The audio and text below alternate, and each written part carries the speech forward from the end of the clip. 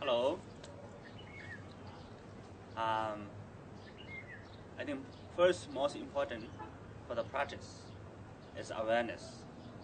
Awareness is the essence of practice. And we all have awareness, as you know that. You don't have to worry about do I have awareness or not.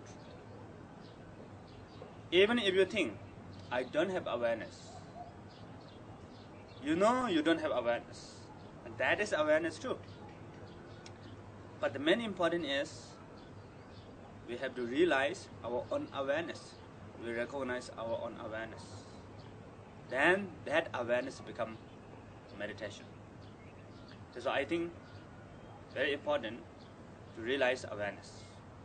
And you can be aware of the awareness anytime, everywhere.